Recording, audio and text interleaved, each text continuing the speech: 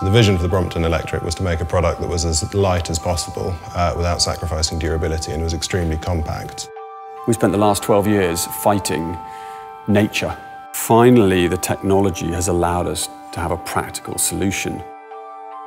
We originally looked to try and find existing equipment that we could put onto the Brompton.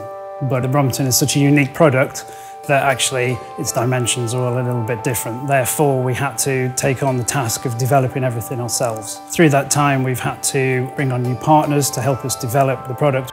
We've had to change internally to manage what is the largest project that this company has taken on. Working with Williams, we're able to use their expertise in electrical machine design, mechanical design. There's a lot of capability, a lot of synergy between the Formula One business and what Brompton required with regard to the development of a lightweight, high performance electric machine. Uh, and from there, we worked to try and find people who can help us design gears, manufacture motors, create and build software solutions.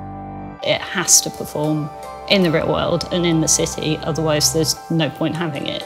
And it has to be a Brompton still. It has to be robust and there for you, and it has to work with users, some of whom are, are very expert cyclists and some of whom are, are novices and just want to get their commute done.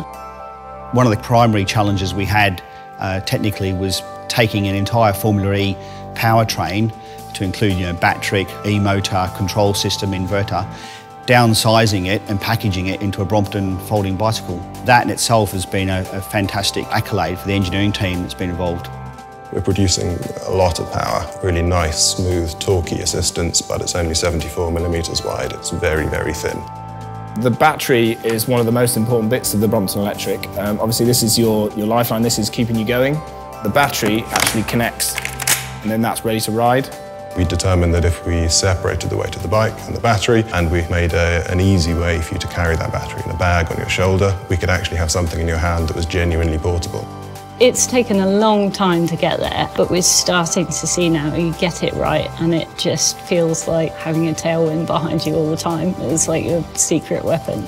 The program has been an exciting one for us to be involved with. I think we've achieved a, a, a fantastic result with Brompton and something that we're all very proud of. The Brompton Electric is no different to Brompton. It's the same philosophy. Our philosophy is, is freedom.